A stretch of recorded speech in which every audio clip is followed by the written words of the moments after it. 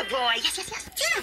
Hi. Hello. What kind of job is this dog doing? Oh, well, this is Hercules, and Hercules is a service dog. Hi, Hercules. Hi. Well, that important. Uh, what's a service dog? Oh, um, a service dog is a dog that works with people who need special kinds of help, right? Right. Oh, but this is almost like Brandeis. Sorry, Brandeis. This sounds like job. Oh, oh, do you think Brandeis could be a service dog? Yeah, yeah. Huh, well, you know, I don't know. I mean, it takes a lot of intelligence and a lot of training to be a service dog. It's more of a lifelong career than it is a job. Oh, well, I was looking for a career opportunity. Uh, what kind of training? Oh, all right. Well, watch this. I- I'm training Hercules to pick up things for somebody who might not be able to pick it up themselves. So,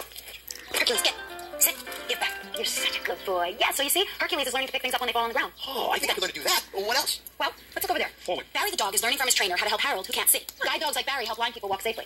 Watch. Barry, forward. Good boy, good boy, good boy, good boy. Wow. That's important help for a person who can't see. I think I think I might be able to learn how to do that. Maybe. Well, and look over here. Phoebe, dog. Yeah. You got it. Good dog. Give. Push. Yeah.